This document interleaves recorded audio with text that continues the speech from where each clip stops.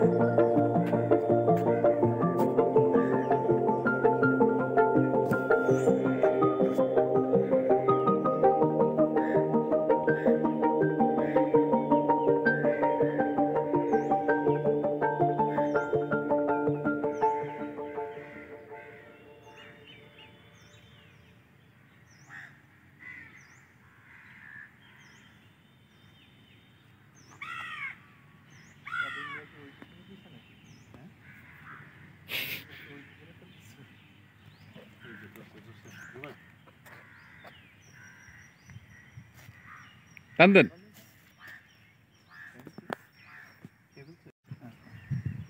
আজকের মাছ ধরলাম। দর্শক মণ্ডলী এই যে, অবশ্যই এটা দুইজন মিলে মাছ ধরলাম। তো আপনারা আসছেন কবে আমার সাথে মাছ ধরতে? কমেন্টে জানান। দেখাবে নেক্সট এপিসোডে ধন্যবাদ।